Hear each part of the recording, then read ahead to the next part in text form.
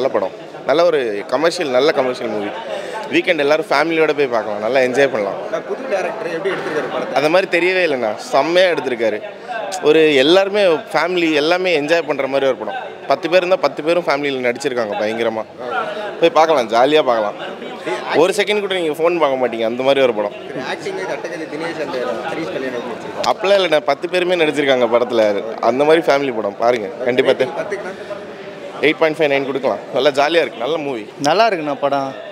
என்ன ஒன்று ஒரு சமூகத்தை வந்து கொஞ்சம் அப்போ பண்ணதுக்கோசரம் இப்போ நல்லா இருக்கு இந்த சமூகத்தை வந்து இந்த சமூக ரீதியாக அந்த தாக்கத்தை உண்டு பண்ணுறாங்க ஜாதி ஜாதி ஜாதி ஜாதின்னு இப்படியே தான் பண்ணுறாங்க தப்பு தானே அது. இப்போது அந்த காலத்தில் யாரோ ஒருத்தர் பண்ணாங்கன்னு சொல்லிட்டு இப்போ இருக்கிற சமூகத்தை வந்து மறுபடியும் வந்து அதையே ஒரு கான்செப்டாக எடுத்து எடுத்து எடுத்து எடுத்து அதே தான் பண்ணுறாங்க அவங்க. வேறு ஒன்றும் இல்லை. பார்க்குற நம்மளுக்கு கொஞ்சம் ஹார்ட் ஆகுது. ஏன்னா நம்ம அந்த மாதிரி இல்லை இல்லை இப்போ எல்லாரும் கூடயும் சகஜமாக பழகுற ஆரம்பிச்சிட்டோம்ல. அது நம்மளுக்கு ஹார்ட் ஆகுது. வேறு ஒன்றும் இல்லை. மற்றபடி படம்லாம் நல்லா தான் இருக்குது படத்தில் கிரிக்கெட்டோட எமோஷன்ஸ் பற்றி யூஸ் பண்ணி. உங்களுக்கு அது எப்படி இருக்குது பார்க்கும்போது கனெக்ட் ஆனிச்சா கிரிக்கெட்டோட உங்களுக்கு? நான் கிரிக்கெட் எனக்கு பிடிக்காது. ஆனால் அந்த கடைசி அந்த கிளைமேக்ஸில் வந்து அந்த நல்லா விறுவிறுப்பாக கொண்டு போயிருந்தாங்க. அது நல்லா இருந்துச்சு. கிரிக்கெட்டு நான் விளையாட மாட்டேன்.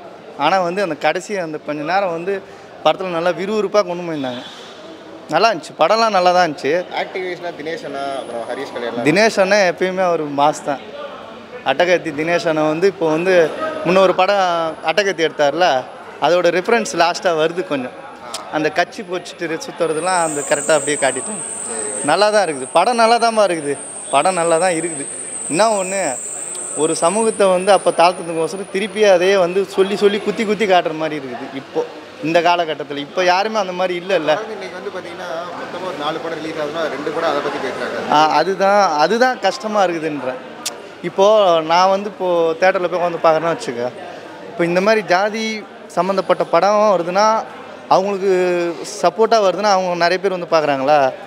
அப்போ நம்ம வந்து அந்த இடத்துல போய் உட்காந்து பார்க்கும்போது எப்படின்னா நம்ம ஏதோ ஒரு குற்றவாளி மாரி எங்களை வந்து ஷேட் பண்ணுற போது எனக்கு கொஞ்சம் ஹார்ட் ஆகுது. வேறு ஒன்றும் இல்லை. சரி.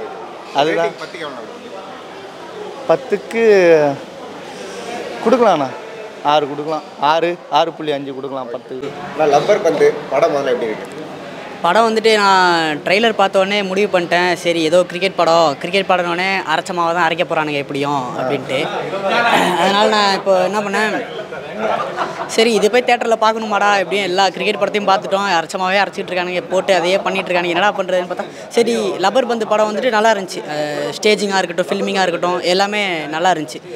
நல்லா இருந்துச்சு நான் என்ன சொல்கிறேன்னா அவங்களோட லைஃபே வந்து பார்த்திங்கன்னா கிரிக்கெட் மேட்ச்சில் தான் ஒரு சண்டையே வரும். ஒரு மருமகனுக்கு ஒரு மாமனாக இருக்கும் அதே கிரிக்கெட் மேட்ச்சில் தான் அவங்க சேருவாங்க. கிரிக்கெட் வந்து அதுதான் எமோஷன் நம்ம இப்போ நான் எவ்வளோனா சொல்லலாம் ஆயிரம் கிரிக்கெட் படம் வரும். ஆனால் கிரிக்கெட்டும் பிஸ்னஸ் பண்ணோம். கிரிக்கெட் படங்களும் இங்கே பிஸ்னஸ் பண்ணோம். அதுதான் உண்மை. இது ப்ராப்பரான ஒரு கமர்ஷியல் ஃபிலிம் எல்லோரும் ஃபேமிலியோடு வந்து பார்க்கலாம்? ஆக்டிங் எல்லாமே சூப்பர் ஆனால் அட்டகத்தி தினேஷ்க்கு அந்த அடிக்கடி அந்த அட்டகத்தி சாயல் வந்துடுது அந்த அவர் வந்துட்டு வயசான கேரக்டர் தான் அந்த வெள்ளை தாடி வருஷம் நடிச்சிருக்காரு. இன்னமும் அந்த சின்ன பையன் மாதிரி ஏன் என்னை விட்டு போன? அந்த ஒரு இதெல்லாம் பண்ணுறாரு அதெல்லாம் வந்து அட்ட அட்டகத்தி சாயல் அப்படியே வந்துடுது அது நம்ம அப்படியே பா அப்புறம் நிறைய படம் பேர் சொல்கிற படம் நடித்தாலும் அவருக்கு அது- ஒரு மைல் ஸ்டோன் ஆயிடுச்சு. அட்டகத்தின்றது ஒரு மைல் ஸ்டோன் ஆயிடுச்சு. அதை பிரிக்க முடியாது. நம்ம இப்போ அவரை பார்த்தாலுமே அந்த லுக்கில் தான் நம்மளை பார்ப்போம். அந்த அவங்கள பார்ப்போம் அந்த லுக்கில் தான். புது டேரக்டர் மேக்கிங் வைஸ் ரொம்ப நல்லா இருந்தது படம். ஆ மேக்கிங் வைஸ்லாம் ரொம்ப நல்லா இருந்துச்சு. அவர் அதான் படத்தோட ரைட்டிங்னா ரொம்ப சூப்பராக இருந்துச்சு.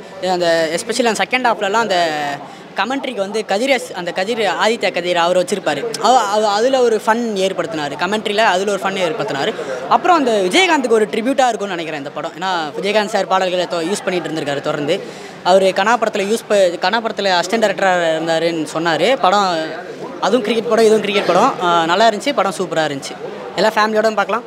அப்புறம் இன்னொன்று இங்கே சொல்லிகிட்டு இருக்காங்க ஆர்ட் ஃபிலிம் தான் இங்கே இதுவாக இருக்கும். இந்த மாதிரி கமர்ஷியல் ஃபிலிம் வந்தாலும் அது பிஸ்னஸ் பண்ணும். அதுதான் உண்மை. ஆர்ட் ஃபிலிம் மட்டும்தான் இங்கே வந்துட்டு சினிமாவை அடுத்த லெவலுக்கு கொண்டு போகும் அப்படின்னு சொல்லிட்டு இருக்காங்க நிறைய பேர். அது என் ஃப்ரெண்ட்ஸே நிறைய பேர் சொல்லிட்டுருக்கானுங்க. ஆர்ட் ஃபிலிம் அடுத்த லெவலுக்கு கொண்டு போகும். ஆனால் பிஸ்னஸ் பண்ணுமான்னு கேட்டால் அது டவுட்டு தான். இந்த மாதிரி கமர்ஷியல் ஃபிலிம்ஸ் தான் பிஸ்னஸ் பண்ணும். சினிமா பிஸ்னஸ் தான். அவ்வளோதான் அண்ட் வந்து பார்க்கும்பொழுது இந்த படத்துக்கு நீங்கள் மொத்தமாக ரேட்டிங் எவ்வளோ கொடுப்பீங்க? பத்துக்கு. பத்துக்கு நான் ஒரு செவன் பாயிண்ட் ஃபைவ் கொடுப்பேன். இல்லை டூ பாயிண்ட் ஃபைவ் வந்துட்டு எனக்கு ஒரு சில இதெல்லாம் வந்து ஒர்க் அவுட் ஆகலை. இப்போ நல்லா இருந்துச்சு. தப்பு சொல்ல நல்லா இருந்துச்சு. இன்ட்ரோல் சீன்லாம் நல்லா இருந்துச்சு. இன்ட்ரோல்லாம் நல்ல கூஸ் பம்ஸாக இருந்துச்சு. அந்த இன்ட்ரோல் சீன் வரைக்கும் எடுத்துகிட்டு வர விதம்ன்றது வந்துட்டு படம் நல்லா இருந்துச்சு. அப்புறம் அந்த இன்டர்வல் முடிஞ்சு ஒரு ஒரு கேஸ்ட் வச்சுன்னு ஒரு ஒரு டைலாக் ஒன்று ஒரு ப்ரௌசிங் சென்டரில் அது எல்லாமே அதெல்லாம் பார்க்கும்போது தேட்டரில் கிளாப்ஸ் அள்ளுது அதெல்லாம் பார்க்கும்போது தேட்டரில் கிளாப்ஸ் அள்ளுச்சு அப்புறமேல அந்த அதுக்கப்புறம் படத்தை கொண்டு போன விதம் எல்லாமே வந்துட்டு நல்லா இருந்துச்சு. எஸ்பெஷலி எல்லாருக்குமே கேரக்டர் ஆர்க்குன்னு ஒன்று இருக்கும். அந்த மாமியார் கேரக்டருக்கும் ஒரு கேரக்டர் ஆர்க் இருக்கும். இங்கே கடைசியில் பொண்ணு பார்க்க போவார் ஹரிஷ் கல்யாண். அப்போது ஹீரோயின் சொல்லுவாங்க. ஹீரோயின் வந்துட்டு நீ வர தேவையில்ல நீ போய் கிரிக்கெட் விளையாடு.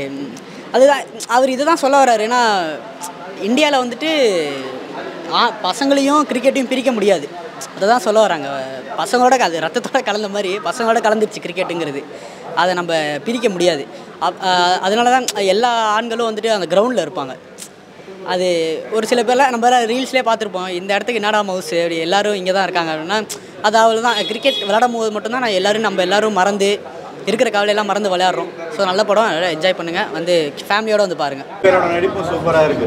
கனா படத்தை காப்பி அடிச்ச மாதிரி இருக்குன்றீங்க அப்படியே ஐயா? என்ன சார் கனா கனா படம். சான்ஸே இல்லை. இது வேற. காப்பியெல்லாம் இல்லை. சூப்பர் படம். பார்க்கலாம். கிரிக்கெட் லவர்ஸுக்கு ரொம்ப பிடிச்ச படம். சூப்பராக இருந்துச்சு ப்ரோ கருத்தில் சொல்ல ஜாலியாக பார்க்கலாம். ரொம்ப நாள் கழிச்சு ஒரு நல்ல படம் வந்திருக்கு. ரெண்டு பேருமே சூப்பராக இருந்தாங்க. எல்லாமே ரொம்ப உறவுகள் நிறையா காமிச்சிருந்தாங்க ப்ரோ அது நல்லா இருந்துச்சு. ஓவராலாக ரேட்டிங் பத்துக்கு நைன் கொடுக்கலாம்.